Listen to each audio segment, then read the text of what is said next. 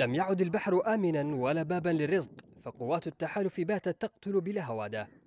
على قبالة سواحل البحر الأحمر حيث يتربص الموت الجائل بالبحارة تربض هنا زوارق فارغة وأرزاق مقطوعة وصيادون أصبحوا عرضة لنيران قوات التحالف العمياء.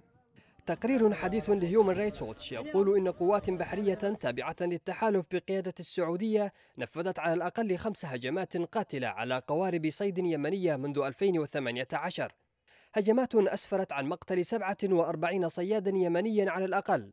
منهم سبعة أطفال واحتجاز أكثر من مئة آخرين. بعضهم تعرض للتعذيب أثناء الاحتجاز في السعودية. يقول التقرير إن هجمات التحالف على الصيادين ومراكب الصيد تبدو متعمدة حيث استهدفت مدنيين وأعيانا مدنية في انتهاك لقوانين الحرب.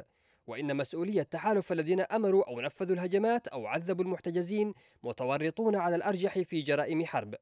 أحد الصيادين الذين تعرضوا لهجوم التحالف يصف واقعة الاستهداف قائلا كانت المروحية قريبة على علو ثلاثة أمتار تقريبا.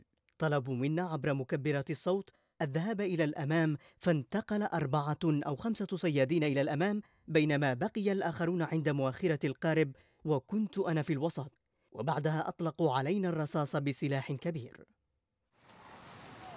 لوح الصيادون بأقمشة بيضاء. ورفعوا أيديهم ليظهروا أنهم لا يشكلون أي خطر. في ثلاث من هذه الهجمات لم تحاول قوات التحالف إنقاذ الناجين الذين سقطوا في البحر فغرق الكثير منهم. يعيش آلاف الصيادين ظروفا صعبة ومعقدة فهم عالقون بين خيارات كلها سيئة. إما المخاطرة في طلب الرزق ليكونوا فرائس لطائرات الأباتشي وبارجات التحالف أو أن يتخلوا عن مصادر رزقهم. فيتوقفوا عن ممارسة مهنة الصيد يتركوا أسرهم عرضة للجوع ومعاناة الفقر. الصيادون جزء من مأساة بلد أسلمت مفاتيحه لتحالف أوغل فيه قتلا ودمارا.